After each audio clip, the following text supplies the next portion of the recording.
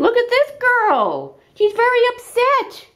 Yeah, she's very, she's so upset. She says, what did I do to get put in a cage? What did I do? I'm a good girl. Oh my gosh, she's beautiful. Look at those markings. And she's got the kind of a fluffy tail. Um, she came here, I don't know, maybe earlier this week. Uh, somebody found her, and she's obviously extremely friendly.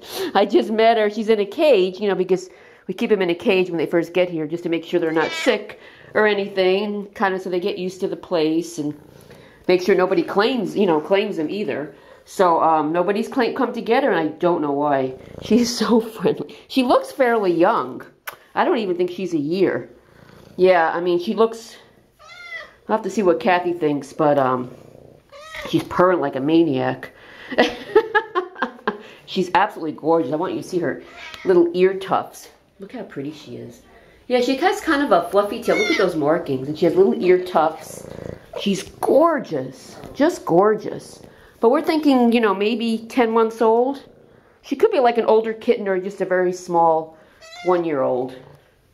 Because she just, she has a, she's very young and she's really active, like moving around a lot. And, you know, she hates being in the cage. When you go in the room, she just cries and cries and cries. So hopefully you won't be here long. You're beautiful.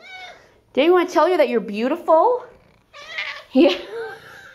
She's got these beautiful piercing green eyes.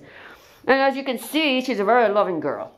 Don't know how she's with other cats yet because she, like I said, she just got here and she's been in a cage. But if she's young, I'm sure she'll adapt. Usually the younger ones are fine. Yeah. Yeah, so she's a pretty girl. I don't have a name. I don't know if they've named you or not. Well, I'll go find out and see if we have a name.